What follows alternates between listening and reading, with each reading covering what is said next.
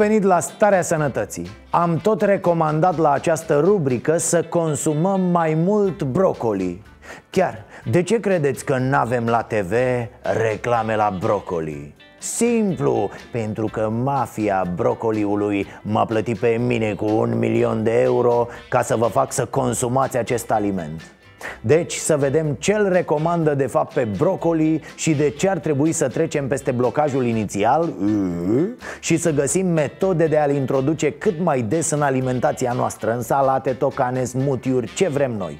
Ei bine, consumul acestei legume crucifere sau brasicacee, dacă vreți, căci așa se cheamă categoria din care face parte, a fost asociat cu mai multe beneficii asupra sănătății, de la prevenirea deteriorării ADN-ului la activarea mecanismelor de autoapărare împotriva agenților patogeni și a poluanților. Substanța despre care se crede că ar fi responsabilă pentru aceste beneficii este sulfurofanul, a cărui producere de către legumele crucifere este similară unei reacții chimice de aprindere.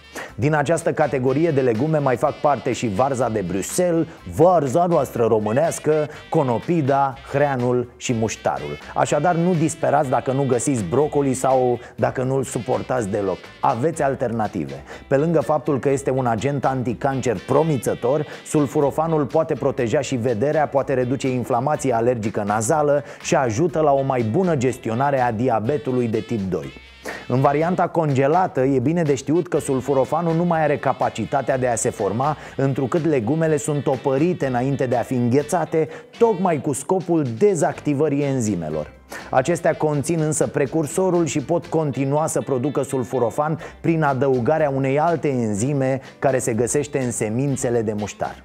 Întrucât găsim astăzi ușor pulbere de semințe de muștar, n-avem decât să o presărăm peste o mâncare de brocoli preparată din legume congelate. Exact același efect îl au și ridichiile, hreanul și wasabi, însă cred că e mult mai simplu să ne descurcăm cu o râșniță și cu semințe de muștar. De fapt, depinde de gustul fiecăruia și de obișnuințe. Important e să avem posibilitatea de a ne bucura de beneficiile acestei substanțe, chiar și atunci când alegem să gătim cu legume crucifere congelate. Deși brocoli găsim acum crud pe toate drumurile. Vă aștept de la 10 fix la Starea Nației.